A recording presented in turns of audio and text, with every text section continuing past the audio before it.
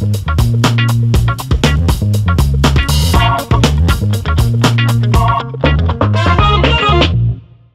אומר שכשאתה נתקל בכל מיני אה, אירועים שמופיעים בתורה, בנביאים ובכתובים, כגון פרשת יעקב ועשיו וזעקתו של עשיו, ופרשה שמופיעה בספר שמואל על דוד ובת שבע ואוריה החיתי.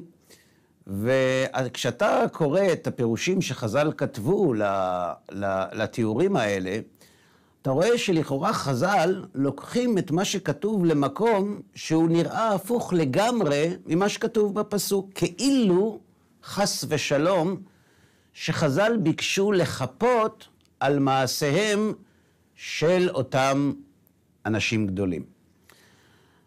אה, אני מבקש להשיב לך על השאלה הזאת בשני מהלכים. אנחנו יודעים שכשאדם רוצה לקיים את מצוות התורה שבכתב, הוא לא יכול לקיים את התורה שבכתב אם אין לו סיוע ועזר מתורה שבעל פה. וזאת מכמה סיבות. דבר ראשון, יש מילים שמופיעות בתורה שאינן מובנות כלל בשפה שלנו, כמו והיו לטוטפות בין עיניך. אה, יש מצוות בתורה שמופיעות כיוון שהן במילים שאינן מנוקדות, אפשר להבין אותן בצורה שונה לגמרי ממה שהתורה אולי התכוונה. כמו למשל, לא תבשל גדי בחלב עמו או בחלב עמו. האם יש בכלל איסור כזה של בשר בחלב? אולי זה בשר בחלב. וכן על הדרך הזאת, בהרבה מאוד מצוות. אני טוען בדרך כלל שאין אפילו מצווה אחת בתורה, אפילו לא אחת, שאפשר להבין אותה בלא סיוע ועזר מתורה שבעל פה שמבארת כנספח, כ, כ, כחלק בלתי נפרד מן התורה שבכתב את מה שכתוב בה. אפילו לא תרצח, שזו מצווה לכאורה כל כך מובנת, אם אנחנו קצת מתעמקים בה, היא אינה מובנת. לא תרצח את מי? האם לא תרצח בכלל? האם לרצוח זה רק בני אדם, או אפשר לרצוח גם בעלי חיים? האם לקטוף חסה זהו רצח? איך קובעים מה הם חיים שכשאנחנו נוטלים אותם אנחנו מגדירים זאת כרצח? האם מותר להרוג יתוש? ואם נחליט בצורה שרירותית לחלוטין לאור מה שאמרתי עד עכשיו, שלא תרצח זה רק בני אדם, מה לגבי אדם הבא להורגך? האם השכם להורגו או לא? אמר פעם הרמטכ"ל שכתוב בתורה שהבא להורגך השכם להורגו. אה, זה לא כתוב. זה לא כתוב באף מקום. כתוב משהו אחר. אם במחתרת יימצא הגנב, דמים לו. האם אתה למד מזה את הכלל הכל כך מוכר לנו, הבא להורגך, השכם להורגו? לא. כלומר, אין בתורה מצווה אחת שאפשר להבין איך מקיימים אותה בלי תורה שבעל פה. נקודה נוספת. כיוון שאתה ואני יוצאים מנקודה שאנחנו יודעים שהתורה ניתנה מאת השם, סביר להניח שאם הבורא נתן לנו את התורה, הוא חפץ שנקיים אותה. ואם הוא חפץ שנקיים אותה, הוא כנראה רוצה שנקיים אותה כפי שהוא רוצה שנקיים אותה. אלא שהכפי שהוא רוצה שנקיים אותה לא ברור לנו, כי התורה לא מנוקדת, ואין לנו אפשרות להבין את פירוש המצוות. למה הקדמתי את כל ההקדמה הזאת? כי אם במצוות התורה, שהן עוסקות בהוראות מעשיות, לכאורה פשוטות וטכניות, אנחנו כל כך זקוקים ותלויים בצווארה של התורה שבעל פה, על אחת כמה וכמה כשאנחנו עוסקים בסיפורים כביכול שמופיעים בתורה, ושם בוודאי שאנחנו זקוקים לביאור, כדי לדעת מה בדיוק קרה ולמה הדברים נכתבו בתורה.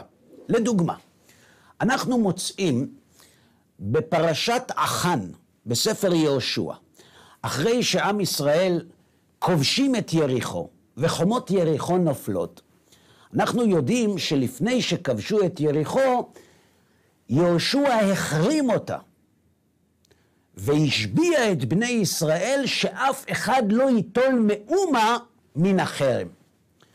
ואז מגיע הקדוש ברוך הוא ליהושע ואומר לו את הפסוק הבא: חטא ישראל, גם גנבו וגם כיחשו וגם שמו בכליהם. זאת אומרת, הקדוש ברוך הוא בא ליהושע בתביעה גדולה, שעם ישראל חטא, והם גנבים ושקרנים, ושמו את זה אצלם. מתברר בסוף שמדובר באדם אחד. אז אני לא מבין, האם כל עם ישראל חטא, או אדם אחד חטא? איך אפשר להבין סתירה כזאת בלי פירוש?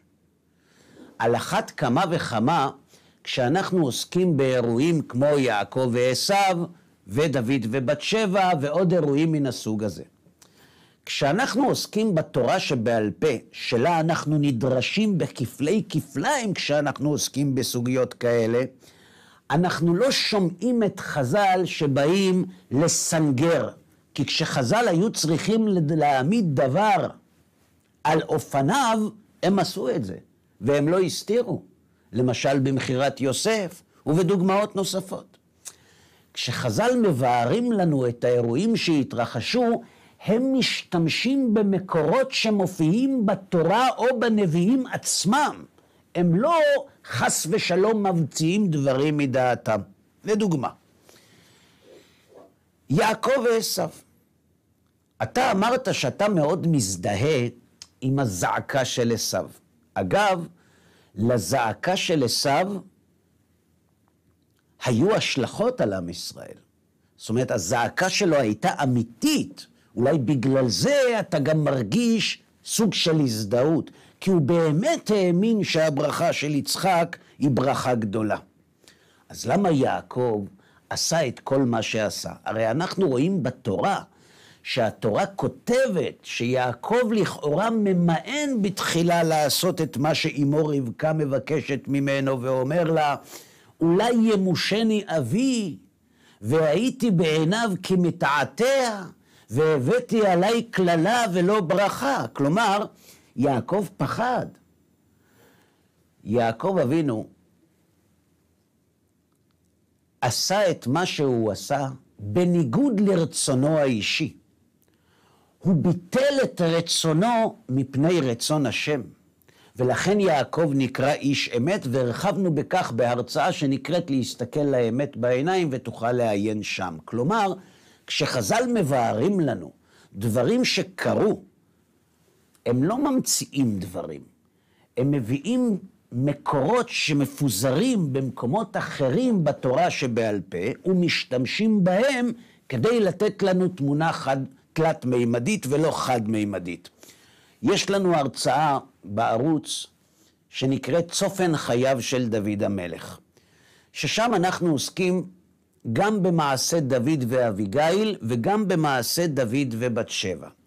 אם תעיין היטב בדברים, לא רק בהרצאה, תיגש למקורות, אתה תגלה שלא מדובר בפרשנות, שאי אפשר להבין את הטקסט של הפסוקים בצורה אחרת. כלומר, חז"ל לא מסנגרים, הם מאפשרים לנו להבין בדיוק מה כתוב בתורה, והם עושים את זה גם בתיאורים של סיפורי התורה וגם בביאורי המצוות.